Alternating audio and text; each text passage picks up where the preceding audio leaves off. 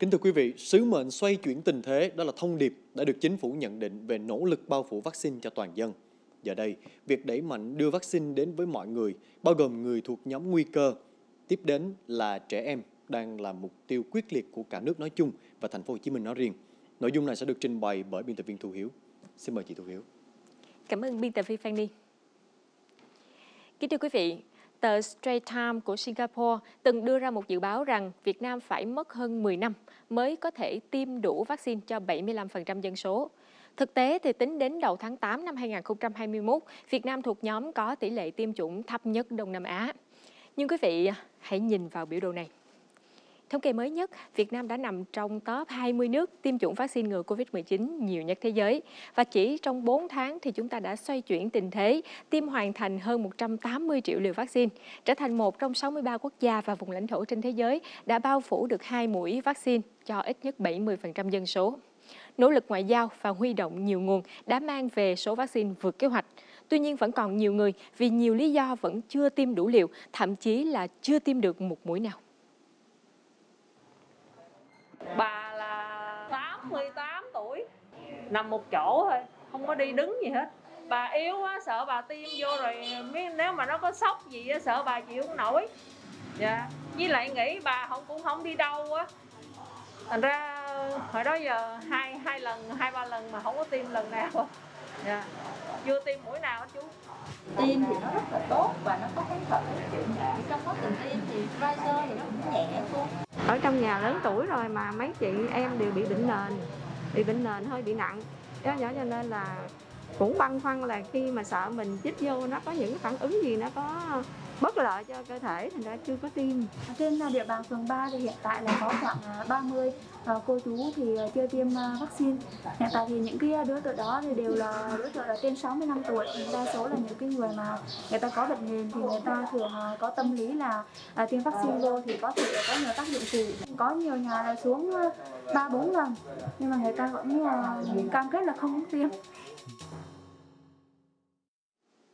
Hai trường hợp vừa rồi chỉ là những câu chuyện cụ thể từ hơn 20.000 người thuộc nhóm nguy cơ cao tại thành phố Hồ Chí Minh chưa tiêm đủ liều vaccine COVID-19. Con số này đang giảm dần vì các quận huyện vẫn đang nỗ lực tiếp cận, thuyết phục và tiêm trong suốt những ngày qua. Đó cũng là nỗ lực từ chiến dịch truyền thông và hành động mang tên Mũi tiêm an toàn, vaccine hạnh phúc mang vaccine đến tận nhà của những người lớn tuổi, người có bệnh nền, những người chưa tiêm vaccine phòng COVID-19, người dân thuộc nhóm nguy cơ cần được bảo vệ. Với thông điệp vaccine là lá chắn an toàn, rõ ràng tiêm vaccine không chỉ là quyền lợi mà còn là trách nhiệm đối với cộng đồng để chúng ta cùng nhau đẩy lùi dịch bệnh.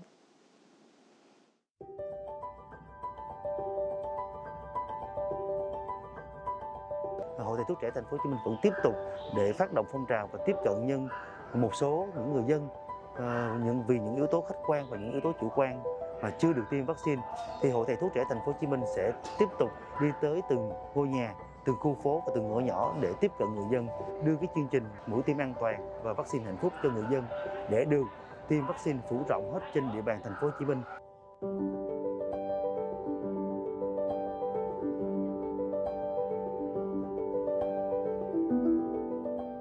Với những sự xuất hiện những biến chủng Omicron có thể gây những cái bất lợi và trong đó vaccine là một trong những mũi tên an toàn và một trong những lá chắn thép giúp cho bệnh nhân vượt qua nếu có nhiễm SARS-CoV-2. Một số người dân ờ, vì lớn tuổi hạn chế đi lại ờ, và khó tiếp cận vaccine thì đội tiêm lưu động cũng sẽ tới tại từng ngôi nhà để hỗ trợ tiêm vaccine. Bên cạnh đó thì chúng tôi luôn ờ, đi thêm một cái đội ngũ nhân viên y tế. Nếu mà có những cái trường hợp mà không hay xảy ra nguy sốc phản vệ thì chúng tôi cũng có thể can thiệp kịp thời. Hôm nay mình sẽ tiêm thuốc Pfizer nha cô. Dạ. Dạ. Dạ xong rồi nha cô. Quá tốt cho người dân chứ em. Được nguyên một cái đoàn đến đây mà tư vấn, bác sĩ tư vấn ân cần như vậy, chăm sóc như vậy. Người dân sung sướng lắm. Mà hạnh phúc nữa. Rất hạnh phúc mà yên tâm vô cùng mình bỏ đi hết những cái lo lắng, những cái băn khoăn từ nào tới giờ trong lòng mình chương trình hôm nay thì rất có ý nghĩa đối với cái công tác phòng chống dịch bệnh trên địa bàn phường. Sau cái à, việc mà phủ tiêm mũi 2 thì à, cái tỷ lệ ca bệnh giảm xuống rất là đáng kể. Tính trên à, tổng địa bàn thì sau thời gian giãn cách thì có 200 ca bệnh, nhưng mà không có triệu chứng và không có chuyển biến nguy hiểm thành ra cho toàn bộ là cách ly ở nhà hết.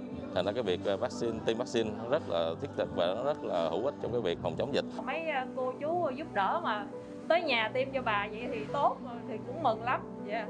các cô chú đó rất là nhiệt tình và mình tin tưởng vào lực lượng trẻ để lo cho dân. Thấy yên tâm đó thì mong muốn lớn nhất là được thăm hỏi, chia sẻ thông tin, kiến thức về cách phòng chống dịch Ờ, và những cái lợi ích khi tiêm phòng vaccine cho bà con, đặc biệt là những người đang ờ, có bệnh nền, có bệnh mãn tính và những cô chú ờ, lớn tuổi bởi vì các cô chú thì cần rất cần được tiêm phòng đầy đủ vaccine để có được sự bảo vệ tốt nhất, sẵn sàng đón những niềm vui mới trong năm 2022.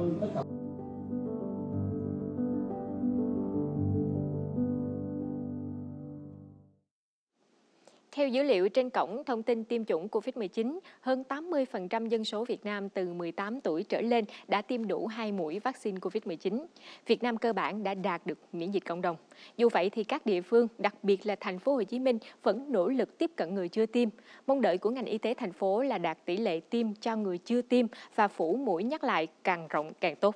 Đó là thông tin được tiến sĩ Nguyễn Thị Huỳnh Mai, Chánh Văn phòng Sở Y tế thành phố Hồ Chí Minh trao đổi với phóng viên HTV vào chiều nay.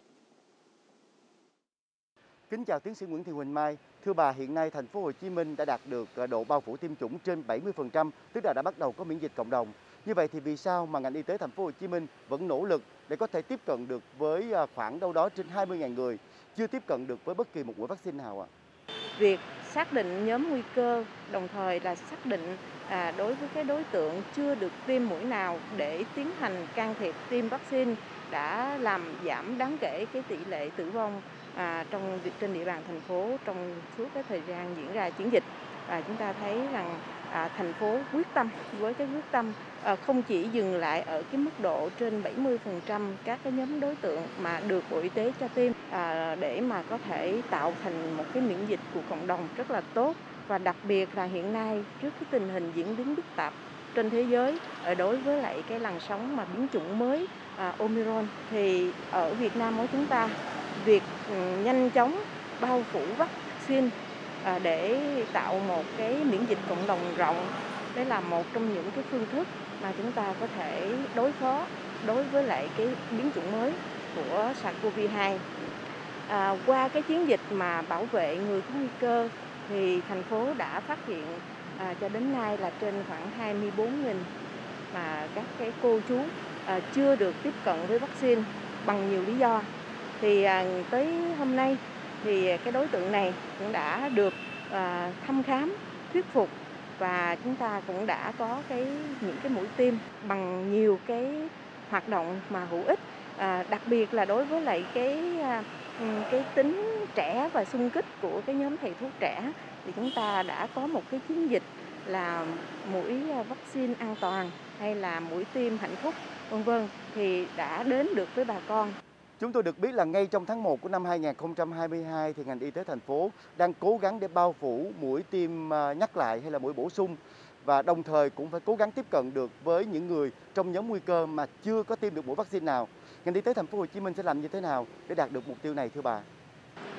À, trước tiên là chúng ta phải có cái kế hoạch tiêm vaccine trên địa bàn thành phố. À, điều này Ủy ban đã làm từ à, đầu tháng 12 năm 2021 này rồi. Thì cái thứ hai nữa là chúng ta sẽ có một cái hướng dẫn và triển khai đồng bộ cho các cái đơn vị bằng những cái hoạt động cụ thể ờ, như là lập danh sách đối với lại các cái đối tượng cần phải tiêm. Thứ hai nữa là tổ chức các cái bằng tiêm à, bổ sung đầy đủ nhân sự để có thể hỗ trợ cho các cái quận huyện phường xã thị trấn trong cái tổ chức các cái buổi tiêm cũng như là cấp cứu an toàn à, ngoài ra thì à, chúng ta cũng phải có một cái báo cáo cụ thể đối với bộ y tế để có thể được cung ứng kịp thời À, vaccine cho thành phố à, đảm bảo là chúng ta sẽ phấn đấu à, thực hiện tiêm cái mũi bổ sung hoặc là mũi ba đối với cái đối tượng à, mà theo bộ y tế có cái quy định à, trên địa bàn của thành phố chúng ta hoàn thành trước Tết ừ, Nguyên đán. Xin được cảm ơn tiến sĩ Nguyễn Thị Huỳnh Mai đã dành thời gian để trả lời phỏng vấn với nhóm phóng viên HTV ngày hôm nay. Thưa quý vị, trong bối cảnh biến thể Omicron lây lan nhanh khiến số ca bệnh mới toàn cầu đang tăng mạnh, chính phủ các nước vẫn đang tìm cách để đẩy nhanh tỷ lệ bao phủ vaccine.